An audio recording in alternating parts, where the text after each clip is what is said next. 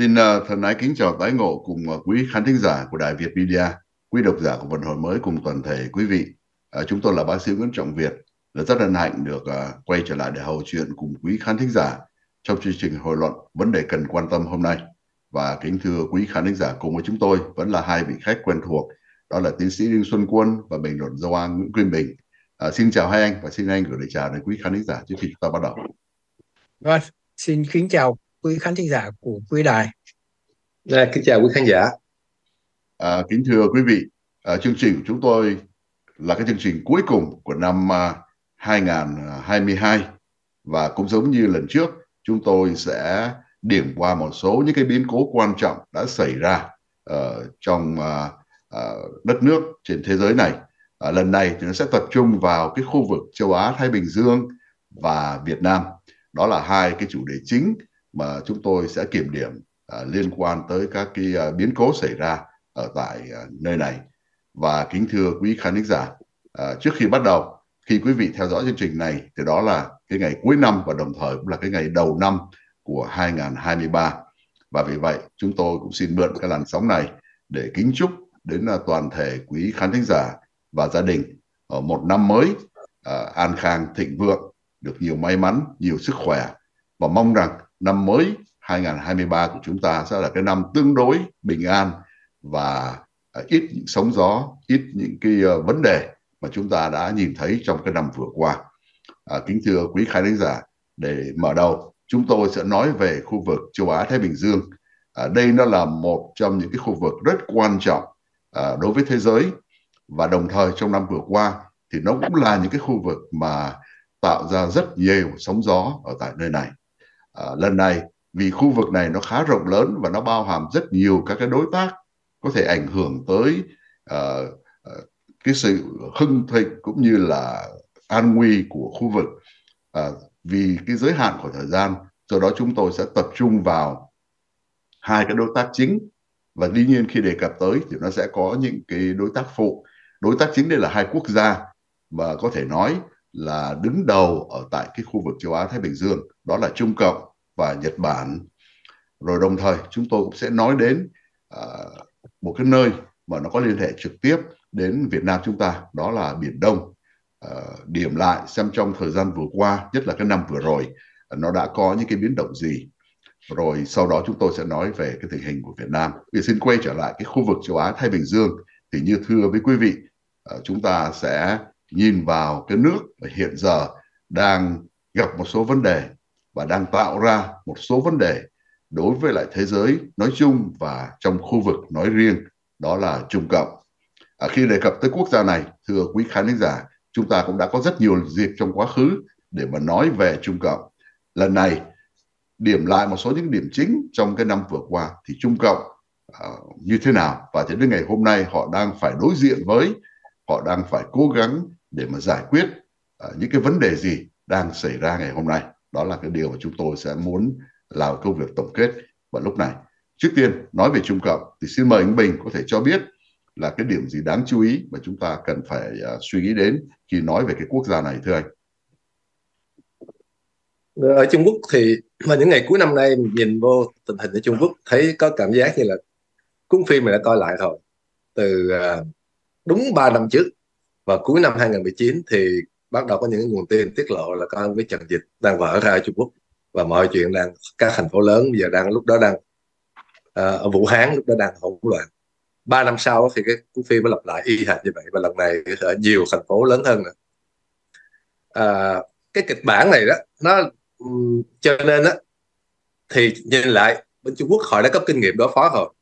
Nên mình cũng nghĩ là có lẽ trong vòng 3 tháng nữa họ sẽ trải qua một cái thời gian khủng hoảng để mà trả lại cái nợ của ba năm vừa rồi. Trong suốt năm 22 vừa rồi cái nét nổi bật nhất của Trung Quốc đó, là họ đã tổ chức thành công được cái đại hội thế vận hội mùa đông đã tiếp tục cái chính sách là zero covid trong 10 tháng của năm 2022 sau đại hội đảng thì đã tuyên bố thành công rồi nhưng ờ, sau đó mọi chuyện nó bắt đầu nó vỡ ra và sau cái vụ biểu tình vào tháng 11 vừa rồi thì bên phía à, chỉ chính quyền Trung Quốc họ lại đổi ngược lại 180 độ, họ mở cửa ra, chấm dứt hết những biện pháp nới lỏng. Để rồi bây giờ nó dẫn đến tình trạng là gần như là vỡ đê, giống y hệt như là cái thời gian này vào đầu năm 2020 và đối với thế giới nhìn vô đó, thì nó có một cái hiện tượng nhỏ thôi, bên lề.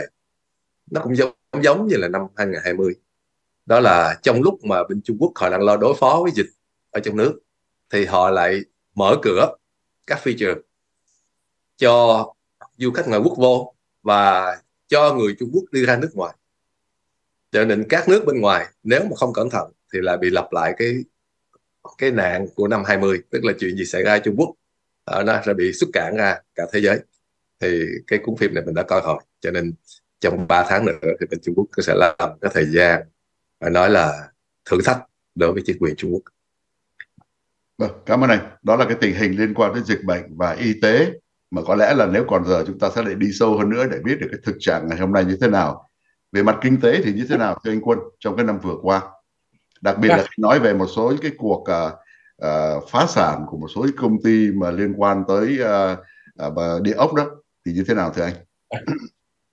Uh, quý vị biết là bây giờ qua cái tăng trưởng cái tăng trưởng của Trung Quốc trong nhiều năm đó, là nhờ cái việc cái chính sách của họ đưa dân chúng tập trung họ về thành phố.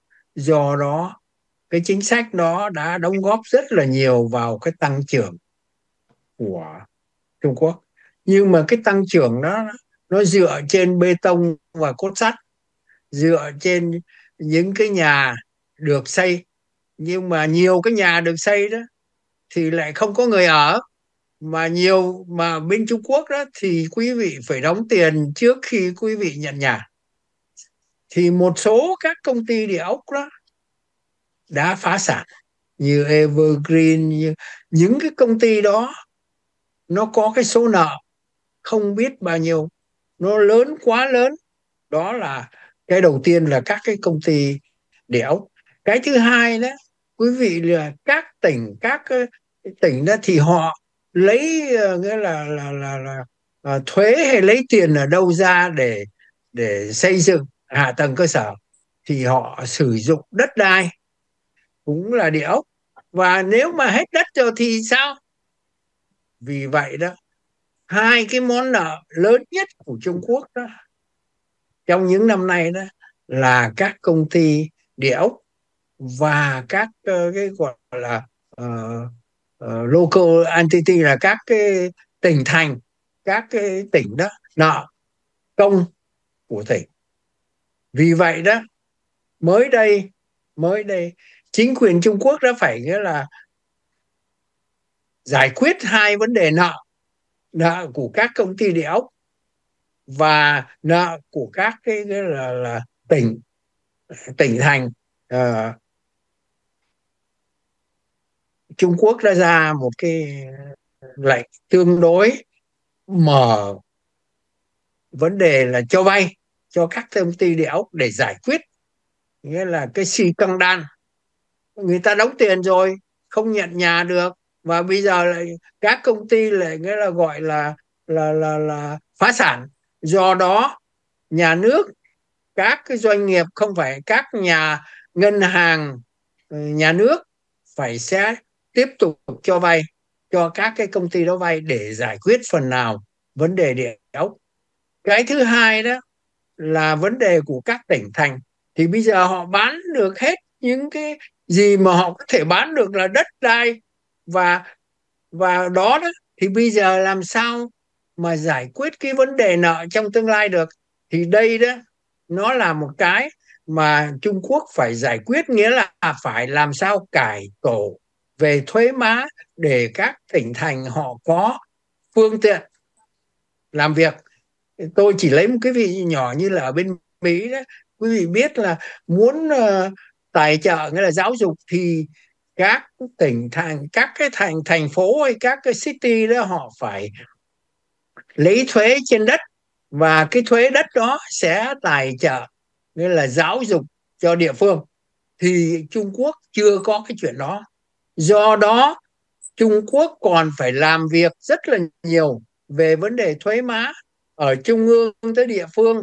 Và không những vậy không mà còn giải quyết cái khó khăn nhất của các là là là tỉnh thành nghĩa là làm sao cho họ có phương tiện về thuế má để có thể nghĩa là, là chay nghĩa là là là trả những cái nợ công hay là trả những cái vấn đề mà đầu tư uh, công của các tỉnh và một cách tổng quát nhất á, mình nhìn vào cái con số mà nó có cái biểu tượng về chính trị đó, thì nhớ là đầu năm 2022 bên Trung Quốc họ đặt cái chỉ tiêu là sẽ kinh tế sẽ tăng trưởng ở mức 5%. Đến cuối năm nay thì hầu hết những nhà những cái cơ quan mà quan sát tế ví dụ như ngân hàng thế giới và IMF nghĩ là bây giờ còn có vài ngày nữa với tình hình này đó thì khá nhất người ta nhắm là khoảng chừng 2.7% và trong đại hội đảng vừa rồi bên phía Trung Quốc họ cũng tuyên bố như vậy, là chúng tôi bỏ cái chỉ tiêu đó đi. Chỉ tiêu đó bây giờ là người tính không bằng trời tính. Cho nên họ từ lâu rồi, trong mùa hè vừa rồi, họ đã bỏ cái chỉ tiêu mà năm phần trăm để chuẩn bị tinh thần cho mọi người. Cho nên nếu mà đến tuần tới này, con số nó vô được mà khoảng chừng ba phần trăm đi, là họ sẽ tuyên bố chiến thắng. Nói là chúng ta đã thoát nạn. Thật ra đó, thì ờ, họ cũng ờ, nghĩa là đương nhiên cái nguyên nhân nặng nhất của nó là chính sách covid, cái chính sách mà zero covid à, cho nên bên phía ờ, phải công nhận chính quyền Trung Quốc họ khôn họ lỡ leo lên lưng cọp họ nhảy xuống là họ bỏ cái chỉ tiêu phát tăng tăng trưởng 5% bây giờ qua năm tới thì mọi người à, họ không dám đặt chỉ tiêu nữa. Nhưng mà những con số mà các nhà quan sát con số mà lạc quan nhất ví dụ như Goldman Sachs họ đưa ra thì có thể trong hoàn cảnh mà lạc quan có thể tăng trưởng được khoảng 4.5% còn à, như Barclay thì họ để cái con số thấp hơn là khoảng 3% trong năm tới nhìn chung thì chúng ta có thể nói à, tiếp lời với cả hai anh đó là trong bao nhiêu thập niên vừa qua à, tăng trưởng mà đóng ngoặc kép gọi là thần kỳ của Trung Cộng đó thì cái đầu máy tăng trưởng của nó đó là nó đến từ xuất cảng và nó đến từ đầu tư ngoại quốc. Và chúng ta thấy ngay đó là cả hai cái yếu tố đó ngày hôm nay đó nó đã tụt giảm rất là nhiều. Và một trong những nguyên do như anh Bình nói đó là vấn đề trong 3 năm vừa qua đó là cái chính sách zero covid nó đã ngăn trở tất cả những cái chuyện sản xuất. Và trước mắt vì cái sự bùng phát của dịch uh, bệnh Vũ Hán kỳ này đó thì chắc chắn là nó sẽ còn kéo dài và nó sẽ làm cho cái uh, khả năng sản xuất nó bị sụt giảm. Và bên cạnh đó thì nội bộ nội tình của Trung Hoa đó thì nó cũng đã gặp rất nhiều vấn đề. Và như anh Quân vừa mới cho biết cụ thể như là cái chuyện mà uh, gọi là đầu tư về địa ốc đó thì nguyên cái đầu tư địa ốc này đó nó đã chiếm vào khoảng 30% cái GDP và cái số tiền mà đầu tư cho địa ốc đó thì nó lại không đến từ chính phủ, mà nó đến từ người dân.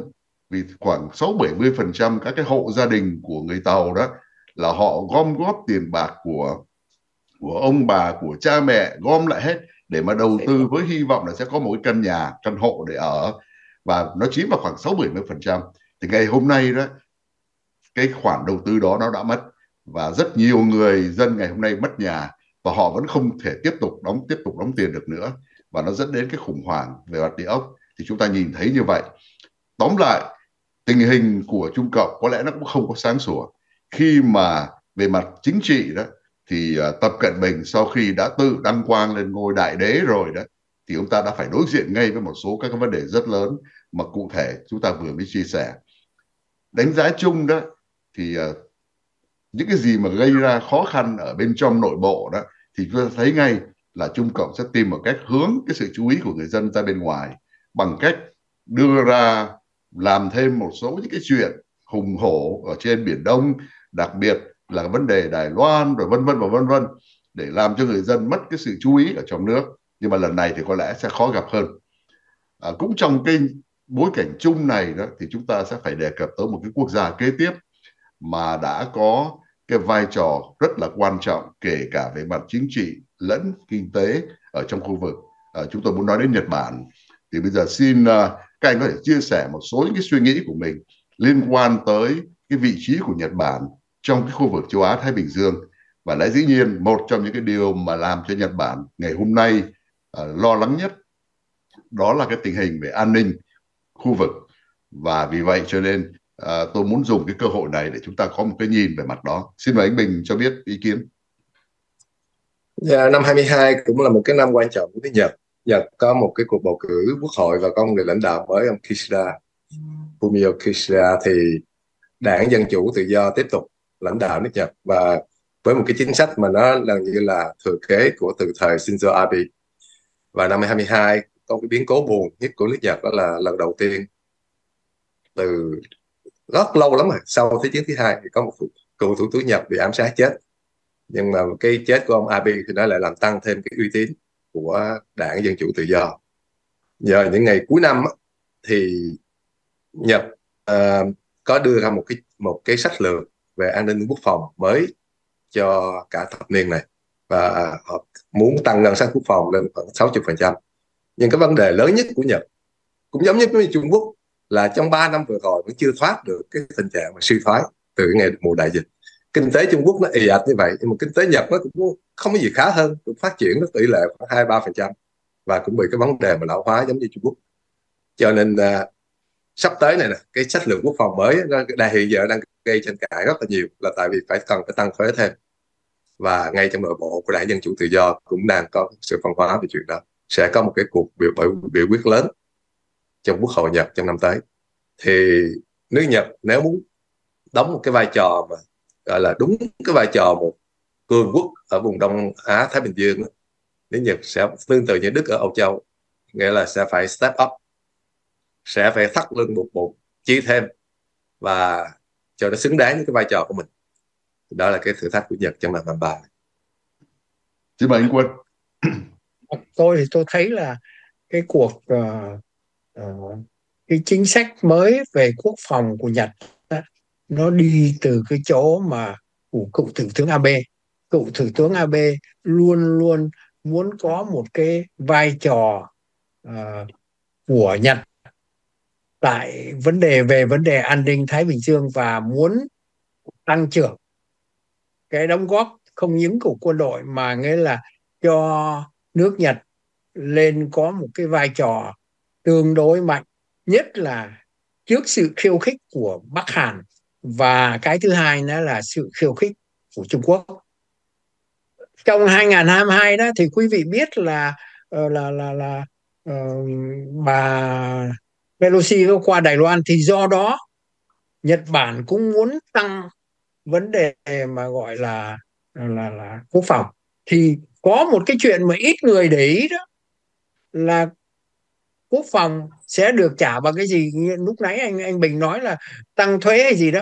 Nhưng mà có một cái điều đó mà ít người để ý nhất là ngân hàng quốc gia của Nhật đó họ tăng cái lãi suất của công có phiếu từ 0,25% lên 0,50%. Quý vị biết đó, 90% nợ của Nhật Bản nó là do dân chúng Nhật mua công khố phiếu, đóng góp vào cổ phiếu. Nếu mà khi mà lãi suất của công cổ phiếu của Nhật lên đó, thì tôi nghĩ là họ sẽ sử dụng cái đó một phần để đóng góp vào cái vụ uh, tăng chi tiêu về quốc phòng.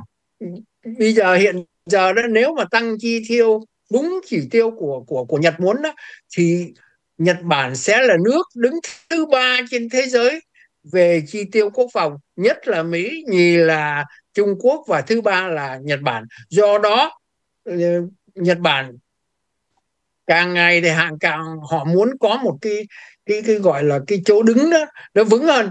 Nhất là cứ bị Bắc Hàn bắn ờ, hỏa tiến ừ, qua, xuyên qua Nhật Bản. Do đó là anh này cũng ờ, ngứa chân, ngứa tay. Chính phủ Nhật đó cũng là rất là là để ý về cái chuyện đó. Và tôi nghĩ là họ có phần nào tìm một chỗ phải không có phải là chỉ có thuế không thôi như anh Bình nói đó. Hiện giờ họ đã tăng cái lãi suất của công có phiếu của Nhật rồi. Từ euro 25 lên euro 50 phần trăm. Cái đó nó là quan trọng là ít người để ý nhưng mà đó nó là quan trọng lắm. Vâng xin trả lời anh uh, tôi nghĩ rằng là cái điều các anh vừa mới chia sẻ đó uh, và có lẽ nó cũng biểu hiện rất rõ về cái ờ, phản ứng của Nhật Bản trong những cái năm gần đây khi mà nói về cái uh, chiến lược an ninh của Nhật Bản đó. Thì chính uh, Nhật Bản nó nói rất rõ là cái mối an ninh của Nhật Bản nó đang bị thách thức và đe dọa bởi và Trung Cộng là cái nguyên nhân cho nên họ phải tìm mọi cách để mà uh, chống đỡ. Và chúng ta thấy là cái điểm khác biệt mà có lẽ từ thế chiến thứ hai cho đến nay đó là trước kia là Nhật Bản chỉ có cái lực lượng gọi là phòng vệ mà thôi. Tức là hoàn toàn ở cái vai trò uh, thụ động để mà tự vệ. Nhưng mà lần này đó thì nâng cao cái ngân sách quốc phòng đó là một. Và thứ hai đó họ sẽ trang bị các cái loại khí tài mà có cái khả năng tấn công. Đây đó là một cái điểm tương đối mới đối với uh, cái uh, quốc hội của Nhật Bản. Và cái khả năng tấn công này nó không phải chỉ ở xung quanh nước Nhật mà thôi mà nó có thể sử dụng cả những cái hỏa tiễn hành trình để đi đến xa hơn rất nhiều khỏi cái phạm vi của nước Nhật để mà uh, có thể là tấn công vào thẳng những cái nơi mà họ nghĩ rằng có thể sẽ đe dọa đến cái sự an ninh của họ. Và đó nó là cái điều mà khá mới. Và vì vậy cho nên chúng ta thấy ngay là cái cái hình ảnh ở tại châu Á Thái Bình Dương ngày hôm nay đó là nó là một cuộc chạy đua võ trang. Bên cạnh Nhật Bản gia tăng ngân sách quốc phòng bên cạnh Trung Cộng tìm mọi cách để mà đẩy mạnh cả các lực lượng hải quân ngay cả Việt Nam, Philippines, Indonesia các quốc gia trong khu vực của ASEAN đó cũng gia tăng thêm à, ngân sách quốc phòng cũng như là mua thêm các các loại vũ khí. Đến đây thì chúng ta có thể nói một điều là cái năm vừa rồi là cái năm tuy ở tại à, khu vực châu Á Thái Bình Dương nó chưa có cái biến động gì lớn nhưng mà ngầm ở bên dưới nó vẫn là những cái chuyển động mà có thể bùng nổ ra những cái uh, uh, vấn đề mà có thể ảnh hưởng tới khu vực cũng như là thế giới.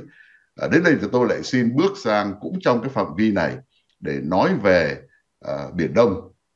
Chúng ta thì rất là quan tâm tới biển Đông bởi lẽ nó là một trong cái phần của nước Việt Nam của chúng ta và biển Đông trong thời gian vừa qua có lẽ vì cái cuộc chiến ở tại Ukraine à, một số những cái vấn đề xảy ra ở tại Đài Loan vân vân khiến cho ít người à, quan tâm hay là ít người chú ý đến cái tình hình ở tại biển Đông. Thế thì ngày hôm nay năm cuối năm 2022 tình hình ở tại nơi này nó như thế nào và đặc biệt những cái đối tác trực tiếp đến nó như là Việt Nam, như là Đài Loan, như là Philippines và Trung Cộng cũng như là cái lực lượng mà uh, hải quân của Hoa Kỳ đó nó đã ảnh hưởng như thế nào đến cái sinh hoạt ở tại nơi biển Đông? Thì tôi xin mời anh Bình chia sẻ một vài cái suy nghĩ rồi sau đấy anh Quân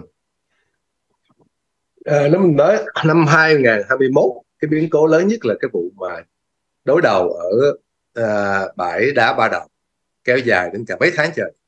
Và tưởng là sẽ gây thêm căng thẳng lớn. Thì qua đến năm 22 thì biển Đông là tương đối bình an.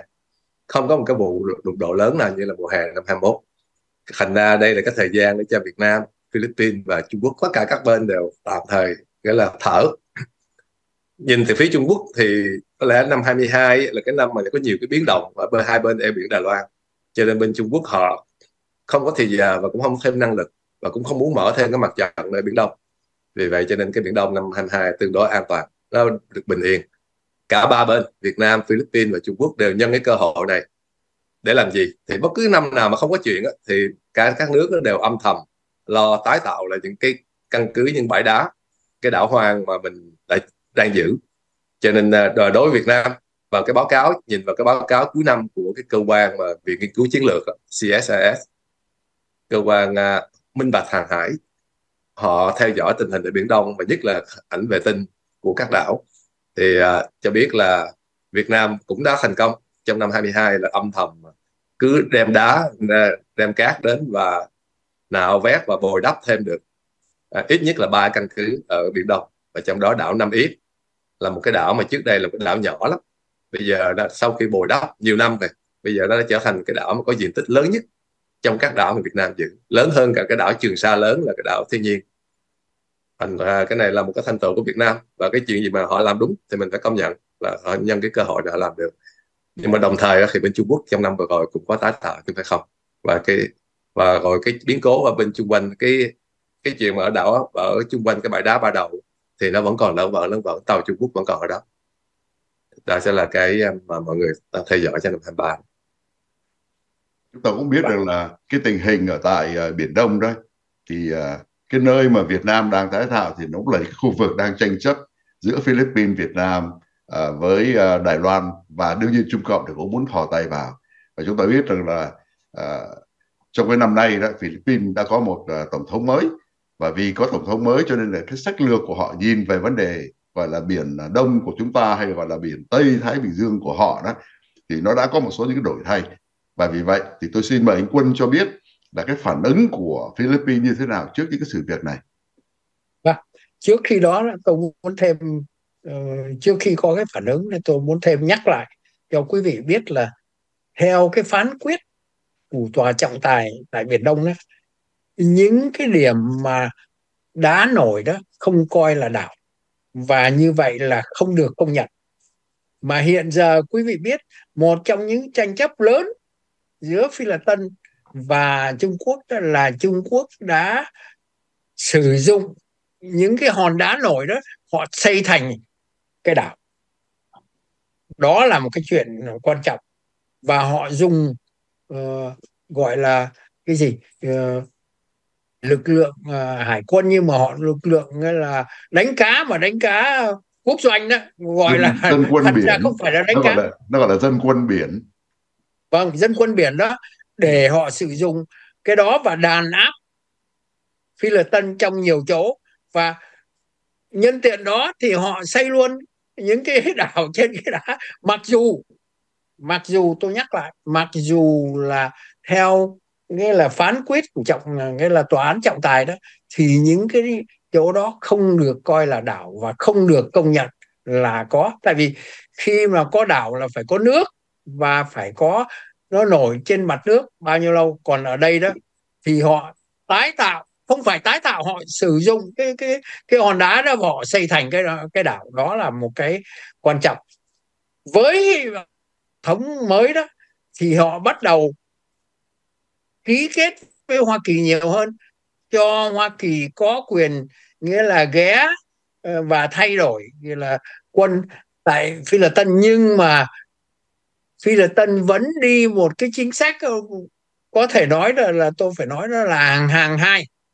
Một bên là họ đi với Hoa Kỳ và một bên kia là họ bàn phán với lại đàm phán với lại về, về về Trung Quốc về những cái khó khăn gặp tại Biển Đông. Do đó chúng ta thấy là cái như là COC của, của Biển Đông khó mà trở thành nữa.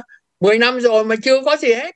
10 năm rồi mà vẫn bị ngâm thì đó nó là hai cái hai ba điểm mà quan trọng nhất mà năm nay ASEAN đó phải giải quyết. Nghĩa là Biển Đông những cái tranh chấp giữa Trung Quốc và các nước ASEAN thì đây đó là những cái khó khăn mà chúng ta sẽ gặp vào 2023 và 2024. Vâng, xin trả lại anh anh Việt.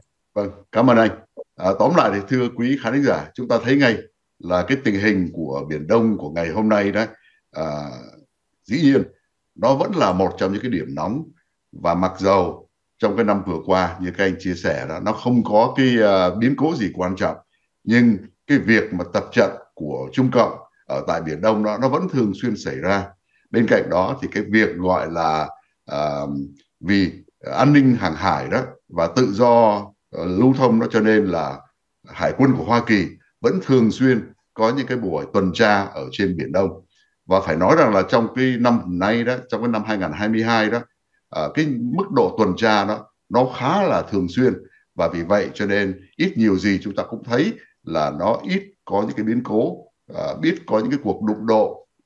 Tuy nhiên trước cái sự kiện mà các anh vừa nói chúng ta có thể thấy ngay một số các cái cải tạo của một số những cái đá ngầm đó ngày hôm nay đó nó đã trở thành đá nổi. Và bên nào cải tạo được nhiều thì bỗng dưng họ cắm cờ vào thì nó lại thành đất của họ. Cho nên đây nó là một cái vấn nạn lớn. Và giống như anh Quân nói đó là tuyên bố ứng xử đã có từ 20 năm nay tức là từ năm 2002 mà cho đến nay đó thì uh, bên cạnh cái tuyên bố đó rồi vẫn chưa có bước thêm được một bước nào về những cái quy tắc ứng xử tức là cái COC đó. Cho nên quy tắc vẫn chưa được thảo luận. Và cái điều mà đã đang ngăn trở ngày hôm nay đó là Trung Cộng muốn thảo luận đơn phương với các quốc gia chứ không muốn thảo luận uh, trên toàn thể. Tóm lại các anh có thể có một cái kết luận gì liên quan tới cái tình hình châu Á Thái Bình Dương trong cái ờ, năm nay? Và liệu năm tới nó có trực chờ để nổ ra một cái biến cố gì lớn hay không? Thì sớm nữa anh có một cái kết luận trước khi chúng ta đi sang vấn đề à, kế tiếp về Việt Nam. Xin mời anh Bình. Ờ, à, và những ngày cuối năm 22 thì có những cái biến cố đó rất là gọi là sẽ có ấn tượng cho năm 23 đó. Trung Quốc vừa mới xong một cuộc tập trận lớn với Nga ở biển Đông ở biển vùng Đông Bắc Đông Bắc Á. Họ vừa mới có một cái đợt à, xâm nhập của không phận của Đài Loan trong những ngày cuối năm này và cho đến ngày, lúc mà mình làm chương trình vào ngày 29 tháng 12 thì có tin là hàng không mẫu hạm Liêu Ninh cùng với một nhóm các tàu chiến của Trung Quốc mới đi ngang qua đảo Guam thì đây lần đầu tiên mà hàng không mẫu hạm Liêu Ninh đi xa như vậy và đi đến gần hai phần của Guam, tức là bên Trung Quốc. Cái nhu cầu của họ bây giờ là gì? Tương tự như một con cọp đang bị thương. Thì thường thường mình có các phim tài liệu về thế giới thiên nhiên đó cái con cọp cái sư tử nó đang bị thương đó nó đang làm dưỡng thương. Nhưng mà lâu lâu nó phải khống một cái để cho những con khác á, biết là nó vẫn còn đây. Chứ đừng có nhân cái cơ hội này kênh kênh hay là à, chó sói gì những cái cơ hội này mà để lấy mồi của nó thì bên Trung Quốc họ cũng phải có nhu cầu đó. Trong năm tới này cái việc quan trọng nhất của con cọp Trung Quốc đó là phải dưỡng thương. Tại vì như chúng ta đã thấy nhiều vấn đề lắm để mà giải quyết trong năm 23 nhiều cái vấn đề trong tập cũng là giải quyết nhưng mà nhu cầu của ổng là lâu lâu sẽ phải khống một lần. Thì cái, những cái biến cố vào cuối năm nay, mình thấy rõ là đây là cái hình thức mà cặp ống chứ không phải là nó tấn công, nhưng nó sẽ khống lên. Và nếu mà không cẩn thận, thì những con nhỏ có thể bị thương chứ không phải không. Vì tưởng là cọp nó đang nằm chờ chết, mình giờ tới tấn công nó là mệt. Cái lý do trực tiếp mà dẫn đến cái chuyện mà cọp đang khống hiện giờ này là vì Mỹ vừa mới thông qua một cái ngân sách quốc phòng. 860 tỷ, và trong đó nó có 10 tỷ đô la viện viện trợ và bán vũ khí cho Đài Loan. Cho nên bên Trung Quốc thật cái có nhu cầu cần phải khống một cái. Thì trong năm 23 mình sẽ nghĩ là sẽ còn nhiều cái đợt như vậy. Và chắc chắn sẽ có thêm một hay hai cái biến cố ở trên eo biển ở dọc eo, eo biển Đài Loan. Mỹ có nhu cầu cần phải đưa tàu vô để xác nhận lại cái chuyện mà à, con đường hàng hải ở eo biển Đài Loan. Và bên Trung Quốc cũng sẽ có nhu cầu đưa tàu ra nghênh chiến với Mỹ. Và sẽ có nhiều cái hành động ngoạn mục. Nhưng chiến tranh thì chưa xảy ra đâu. Nếu hai trừ khi ta tai nạn còn hai bên thì vẫn chưa có như Trung Quốc chưa có nhu cầu và chưa dám gây chuyện với Mỹ trong năm 23 à, cảm ơn anh. Vâng, nhưng mà, con cọp nó rống cái... là nghĩ là con khỉ nó có ho xin mời anh quân nhưng mà thôi thì tôi thấy là cọp nó rống nhưng mà Việt Nam mình cũng có một cái đòn rất là đẹp. Nghĩa là đã ngồi được với là Indonesia chia làm rõ ràng cái cái cái cái cái, cái là vấn đề mà đánh cá giữa hai bên giữa Việt Nam và Indonesia. Quý vị biết là nhiều thuyền đánh cá thường thường hay bị uh, uh, nghĩa là Coast Guard cái uh, vấn đề mà uh, của Indonesia họ bắt. Vì vấn đề đánh cá lậu thì Việt Nam đã lợi dụng cái đó cái tình hình tương đối là gọi là để thương thuyết và hai bên đã ký một cái cái cái vấn đề mà chia sẻ nghĩa là về hải phật. Đó nó là một cái chuyện rất là hay là vì nếu mà Việt Nam mà giải quyết được với Indonesia thì sẽ dần dần sẽ giải quyết với lại Malaysia và dần dần đó như vậy những cái vấn đề mà đánh cá của những cái ờ, nghĩa là, là là dân đánh cá Việt Nam nó sẽ bị đỡ bớt bị nghĩa là gọi là uh, các cái là là ờ, uh, coast guard của các nước nước ờ, Indonesia và và và Malaysia. Đó nó cũng là họ cũng lợi dụng được cái chứ. Có, mặc dù có có có Trung Quốc thì giống nhưng mà Việt Nam cũng nghĩa là ông thầm làm việc chứ không phải là không. Vâng cảm ơn anh. À, chúng ta nhắc tới Việt Nam thưa quý khán thính giả đến đây thì chúng tôi xin bước sang à, à, cái à, chủ đề mà tôi cho rằng có lẽ tất cả mọi người chúng ta đều rất là quan tâm. Năm 2022 Việt Nam có những cái biến động gì lớn. Và bên cạnh một số những cái thành tựu mà chúng ta vừa mới nghe nhắc tới thì uh, những cái khó khăn gì Việt Nam ngày hôm nay sẽ phải uh, đối diện? Và cái điều có lẽ quan trọng hơn cả đối với tất cả mọi người chúng ta đó là những khó khăn gì mà người dân Việt Nam ngày hôm nay sẽ phải đối diện chứ không phải chính quyền hay là nhà nước cộng sản Việt Nam? Là vì cho đến giờ phút này tôi vẫn quan niệm là người dân Việt Nam đó vẫn là nạn nhân của cái chế độ độc tài cộng sản này. Và vì vậy cho nên chúng ta sẽ nhìn Việt Nam dưới hai cái góc nhìn khác nhau từ phía của nhà nước xem một số những cái khó khăn những cái thành tựu những cái việc làm nhưng mà đồng thời chúng ta cũng nhìn nó dưới cái góc cạnh của một người dân để xem cái đất nước Việt Nam trong cái năm vừa qua nó như thế nào và liệu năm tới nó có cái gì khá hơn hay không. Đấy là những cái chuyện mà chúng tôi sẽ đề cập tới trong cái phần kế tiếp.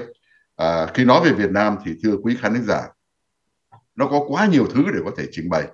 Và chuyện có thể nói nó nó thượng vàng, hạ cám nó đủ hết mọi thứ. Nhưng mà chúng tôi chỉ muốn tập trung vào ba cái điểm chính thôi, để có thì giờ mình có thể nói được. Đầu tiên là về mặt chính trị, đảng và nhà nước của cộng sản Việt Nam trong thời gian qua thì họ làm cái gì? Họ điều hành đất nước ra sao? Và nó đã gặp những cái trở ngại khó khăn gì? Cái hệ lụy của cái chế độ độc tài đó là cái guồng máy từ trên xuống dưới nó tham nhũng. Và vì vậy nó đã có những cái đại án lớn, cái đại án nào liên quan tới tham nhũng? Uh, vân vân. Và cái mà chúng ta vẫn phải quan tâm để nói đến đó là thế cái tình hình nhân quyền ở tại Việt Nam ngày hôm nay nó như thế nào? À, cái quyền à, tự do báo chí nó ra sao? Cái quyền tự do tôn giáo nó như thế nào? Đấy là những cái điều mà chúng ta sẽ đề cập tới cái năm 2022 của Việt Nam. Xin quay trở lại à, để nói về à, chính trị về nhân sự của đảng cầm quyền tức là đảng cộng sản Việt Nam ngày hôm nay thì uh, xin mời anh Bình và sau đó thì đến anh Quân. Ờ, một cách tổng quát thì cái con số mà các nhà lãnh đạo Việt Nam họ sẽ rất là gọi là tự hào. Mà thực sự thì cái này nó cũng là cái may mắn cho Việt Nam. À, cái con số tăng trưởng trong năm 2022 đó thì giờ được dự đoán là khoảng sẽ lên đến 8% theo các cơ quan mà quan sát như là ngân hàng thế giới và IMF thì cái này là một thành tựu của Việt Nam mình phải nói. Sau à, và nó ảnh hưởng trực tiếp đến cuộc sống của người dân. Sở dĩ mà nó tăng trưởng nhiều á, là tại vì cái năm 21 á, bị khựng lại chứ không có gì hết. Giống như một người mà đã bị bệnh lâu ngày thì lúc mà um, ngồi dậy thì sẽ ăn nhiều hơn thôi. Cho nên so với năm 21 thì kinh tế Việt Nam tăng trưởng được 8% thì đây là cái tỷ lệ cao nhất từ ngày mở cửa đến bây giờ trong 25 năm vừa rồi. Thì cái này là cái chuyện mà đối với uh, cả nước mình cũng đáng mừng. Việt Nam người đối với người dân đó, thì đã thoát gần như là đã thoát hiểm được qua khỏi cái nạn Covid rồi tỷ lệ chích ngừa của Việt Nam bây giờ có thể lên đến 87 90 phần trăm. Và phần lớn là thuốc ngừa của Tây phương đàng hoàng chứ không phải là thuốc Trung Quốc. Cho nên à, à, bên phía chính phủ Việt Nam thì họ cũng sẽ hãnh diện về cái này. Đó là đã đồng qua được cái thời gian mà nguy hiểm ngặt nghèo rồi. Phần lớn là nhờ cái sự trợ giúp của bên Tây phương. À, trong năm 22 thì là một cái năm căng thẳng về mặt chính trị đó. Tại vì ở thượng tầng nó có cái vấn đề căn bản của Việt Nam là một ông cụ đã 78 tuổi và đã bị tai biến mạch máu và vẫn còn ngồi đó là trong cái vai trò hoàng đế. Cho nên thì nó tạo cái sự bất ổn chính trị thôi là tại vì mọi người đều tiên đoán là ông Nguyễn Phú Trọng ông không thể làm hết được cái nhiệm kỳ này. À, ông sẽ bàn giao lại giữa nhiệm kỳ nhưng mà không biết được cái cái nửa nào.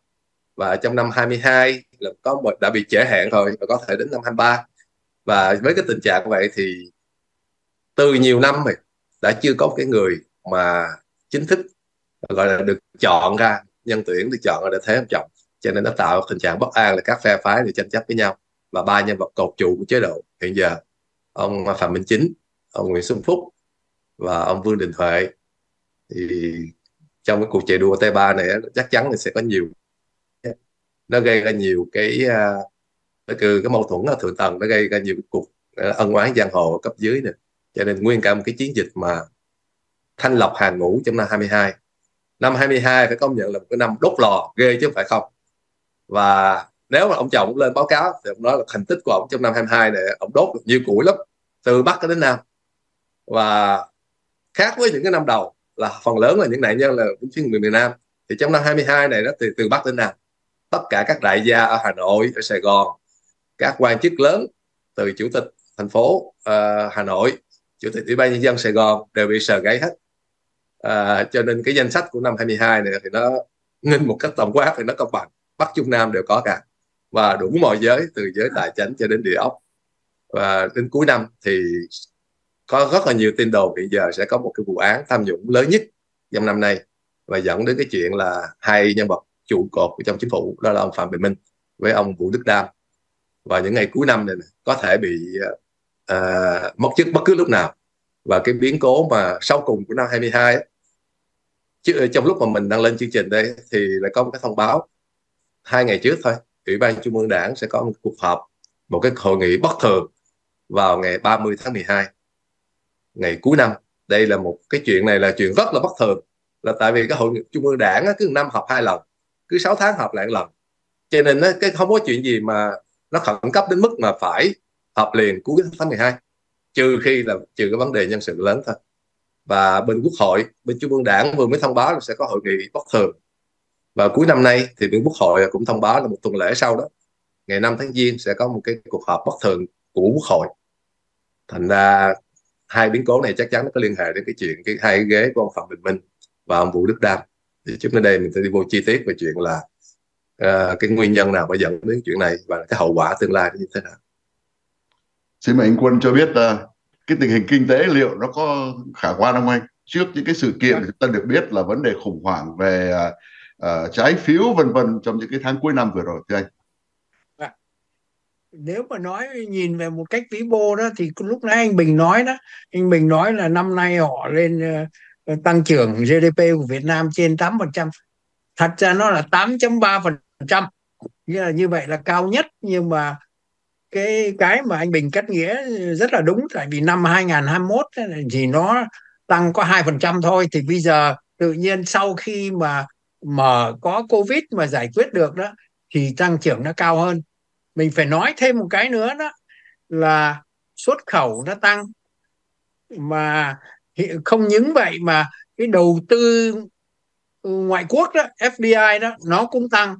Đó là những cái cái cái cái dấu hiệu tốt nhưng mà nó cũng như Trung Quốc. Việt Nam gặp nhiều cái xì căng đan. Xì căng đan là về vấn đề địa ốc. Xì căng đan về trái phiếu ngân hàng. Đó, quý vị thấy là ở Việt Nam đó thì vấn đề mà kiểm soát của ngân hàng trung ương đối với các cái trái phiếu đó, nó còn rất là lỏng lẻo do đó.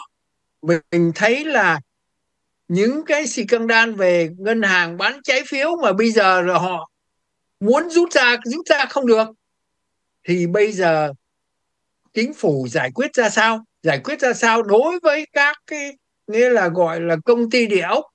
Cái thứ hai là đối với các ngân hàng.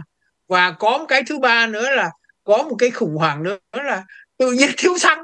Đó là xăng là thiếu ít người để ý. Nhưng mà quý vị thấy đó là nó dính vào tất cả dân chúng.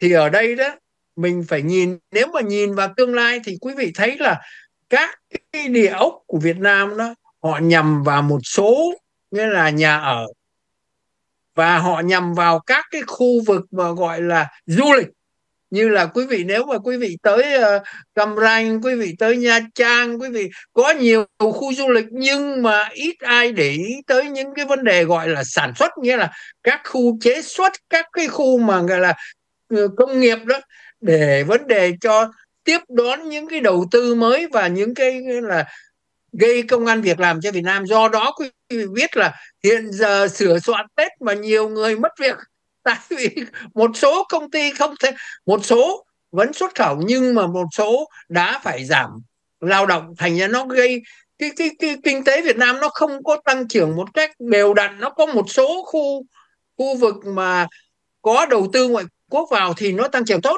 nhưng mà một số kia đó thì lại mất việc làm. Do đó hiện giờ tại Việt Nam nó, nó còn gặp nhiều rất là nhiều khó khăn vì cái là cái tăng trưởng nó không cân đối và những cái cái gì mà người ta làm đó người ta chỉ nhắm cho ăn liền.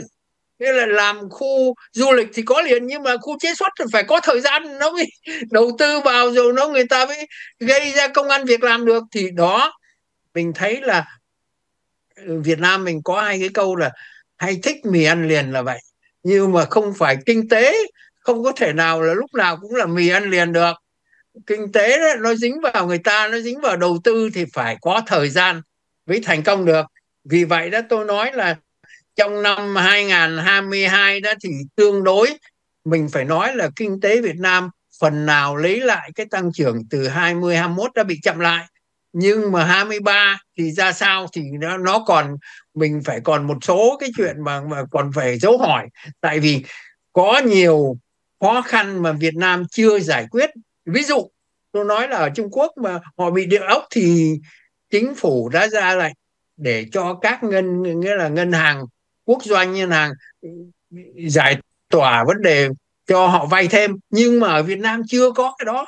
Do đó cũng còn sẽ còn gặp nhiều cái vấn đề mà nó đặt ra cho 2023 à, nếu mà mình nhìn vô tất cả những cái vụ đại án tham nhũng trong năm 2022 vừa rồi khoảng chừng một chục vụ đi lớn nhất như là Tông Hoàng Hương cho đến vụ Trịnh Văn Quyết FFC thì nó đều có một cái giống nhau thứ nhất là nó có liên hệ đến ngành địa ốc và thứ nhì là có liên hệ đến ngân hàng. Và điểm thứ ba nữa là có liên hệ đến thị trường tài chính trong đó là chuyện trái phiếu và cổ phiếu. Đó là ba cái chỗ. Phải nói là nếu mà mà bác sĩ mà nhìn vào bệnh là kinh tế là chúng tôi cũng thấy cũng đồng ý là ba cái bệnh mà nó nguy hiểm nhất đó là ba cái mầm ung thư của Việt Nam. À, mà chưa có giải quyết. ốc ngân hàng và cái thị trường cổ phiếu. Tất cả những vụ đại án đó ví dụ đại án của Tân Hoàng Hương đi đều, đều đằng sau có một ngân hàng chống lưng cho nên nó từ đó nó mới dẫn đến, nếu có khủng hoảng kinh tế lại chỗ đó, là vì ngân hàng, những công ty đại công ty đó, tập đoàn đó, họ sụp đổ, họ kéo sự sụp đổ của ngành tài chính. Và ngân hàng sụp đổ thì nó làm sụp cái niềm tin của người dân.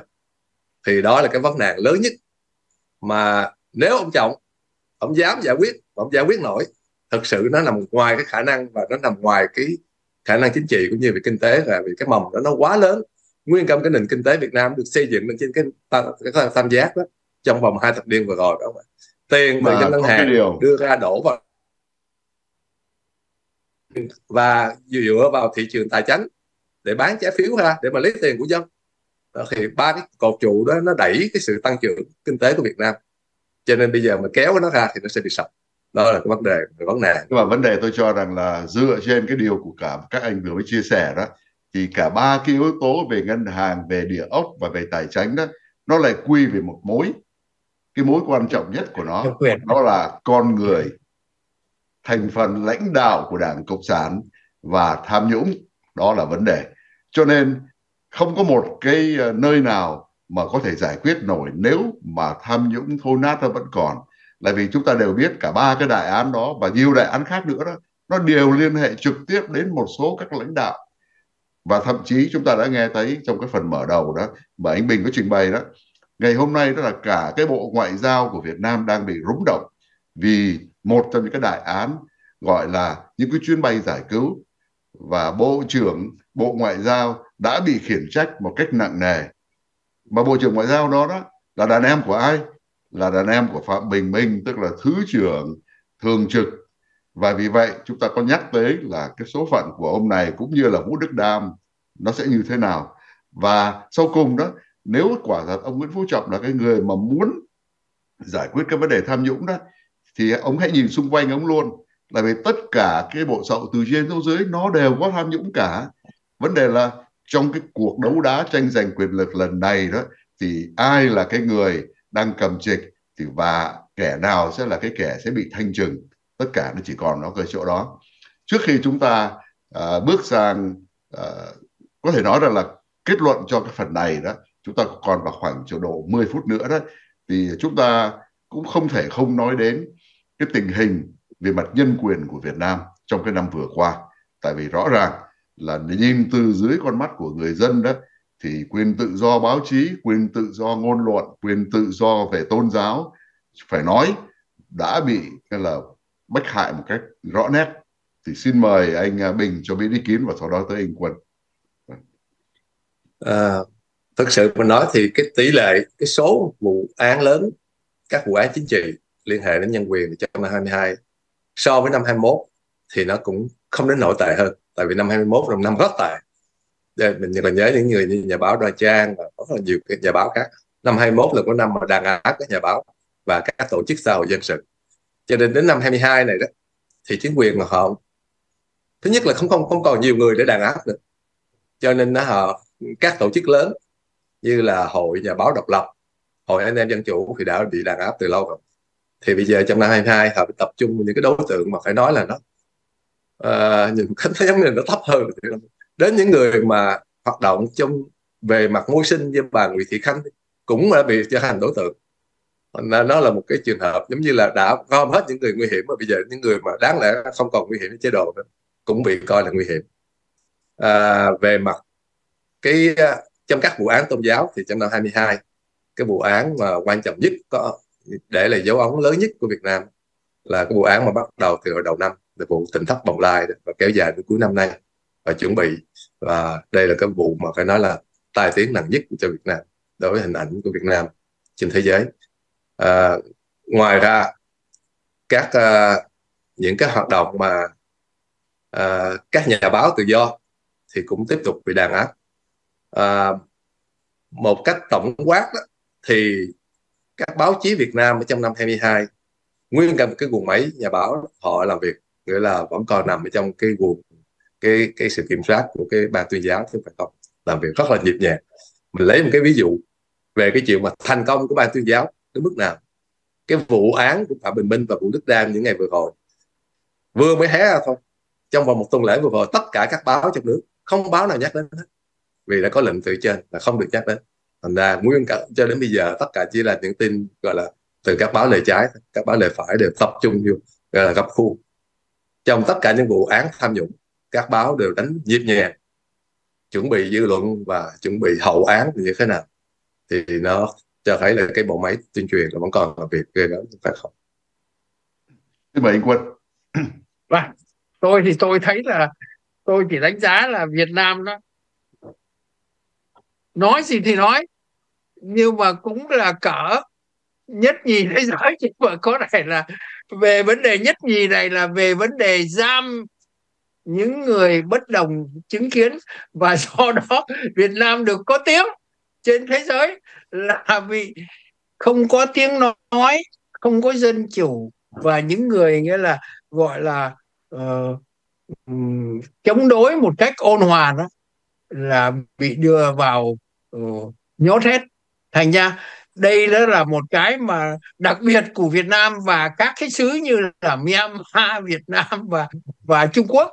Thì đó nó là một cái mà tôi nghĩ là không không phải là 2022 anh Bình nói như vậy nhưng mà theo tôi đó thì nó cũng như 2021 và nó sẽ tiếp tục 2023 vì vấn đề và... cái độ nó còn đó và họ không muốn có người nào mà công kích họ hết. Vâng.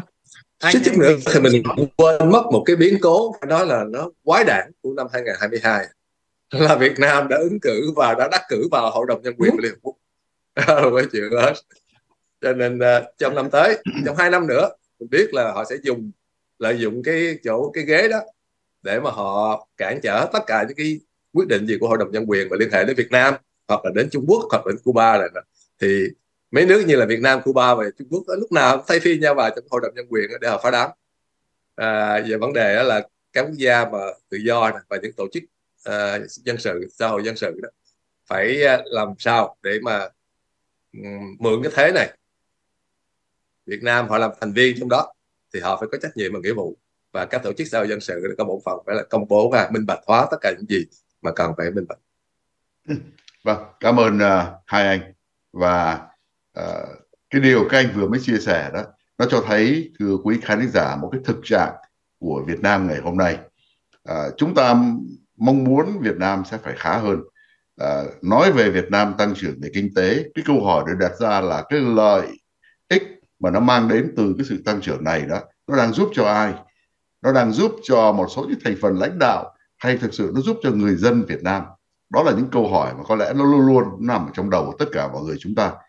À, cái uh, vấn đề phân cực về giàu nghèo ở Việt Nam ngày hôm nay nó vẫn còn rất là rõ nét. Những cái thành phần đại gia mà chúng ta nghe nó đến mở đóng ngoặc kép á, là những thành phần có cấu kết với là nhà nước và sử dụng tất cả những cái chuyện có thể có được tài sản của dân để mà làm những công việc mang lợi ích cho cá nhân mình, trong khi toàn bộ người dân, liệu cái điều đó họ có được hưởng tất cả những cái chuyện đó hay không? Đó là cái việc mà chúng ta sẽ phải tiếp tục quan sát. Ít nhất, thưa quý khán giả, trong cái buổi ngày hôm nay, chúng ta cũng đã có cơ hội được nhìn thấy một cái bức tranh tổng quát liên quan tới cái khu vực châu Á Thái Bình Dương. Và đồng thời, nói về biển Đông, nói về vấn đề an ninh ở tại khu vực. Và đồng thời, chúng ta lại cũng có cơ hội để nhìn lại Việt Nam của chúng ta trong cái năm 2022 lẽ dĩ nhiên, chúng ta cũng mong là mọi chuyện nó sẽ phải khá hơn. Nhưng liệu sự khá hơn đó nó đến từ đâu? Cuối cùng chúng tôi vẫn nghĩ rằng là người dân Việt Nam sẽ phải là cái người quyết định cái việc này. Nếu người dân Việt Nam mong rằng mọi chuyện nó phải thay đổi, thì họ phải thực sự tham dự vào cái tiến trình thay đổi đó. Và bất cứ một cái chế độ độc tài nào, như ngày hôm nay chúng ta có thể trông thấy nó có một số những cái vấn đề liên quan tới nhân sự về lãnh đạo. Và đó là cái bản chất của chế độ độc tài. Khi mà cái thành phần đang cầm quyền nó sẽ tìm mọi cách để mà tập trung cái quyền lực, thì sẽ thanh trừng tất cả những thành phần nào mà chống đối mình. Giống hệt như tập cận bình đã làm ở bên tàu, ở bên việt nam cũng sẽ là như thế.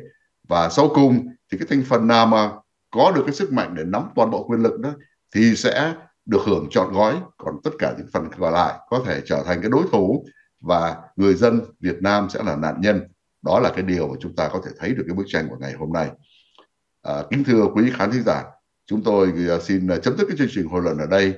À, mong rằng non một tiếng đồng hồ vừa qua chúng ta đã có cơ hội được nhìn lại về cái tình hình của thế giới nói chung và khu vực châu Á Thái Bình Dương cũng như là Việt Nam nói riêng. Mong rằng năm tới chúng ta sẽ có thêm những cái à, điều sáng sủa hơn cho tương lai của Việt Nam cũng như của thế giới. Chúng tôi xin à, cảm ơn sự theo dõi của tất cả quý khán thính giả. Xin à, kính chào tạm biệt và xin hẹn với tất cả quý vị vào chương trình của năm tới 2023.